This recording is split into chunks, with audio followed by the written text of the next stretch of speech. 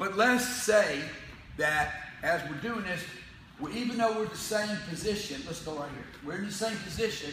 We do this. I block right here. Now, as soon as I do this, Mr. Zerlock gets out of town. If you note, I want you to notice something. Let's slow it down and show you that that, in all actuality, is also an escape to that type of bar lock. So if I put it in this position right here, watch what Mr. Zerlock does. If he bends his elbow in and under, it stops and counters the uh, straight arm bar lock. So we'll do it in a, in a rather low flow procedure so you can see the, see the action. I, I call it low, uh, slow flow.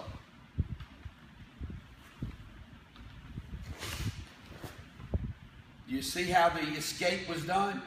He went with the pressure and escaped out. Let's, let's get, we're getting right here. Now I'm in this position. I, I, I block and I start my lock. Mr. Zerlock comes out of it by stepping back and clearing and, and hooking underneath my lock. Now, when he comes underneath, he's got a couple options here. He can block right here. He can go to a wrist lock if he'd like.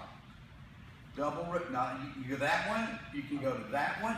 Yes, beautiful. I got arthritis. That's okay. Now, or he can go to down a little further. Now he can go to an arm block position this way. He's got a few options depending on the density and the positioning of my body. In other words, the closer or the further I am, the different the application is. So there's no break in time or rhythm.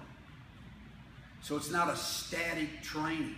He has three or four choices, main choices he can make as he goes through this particular set.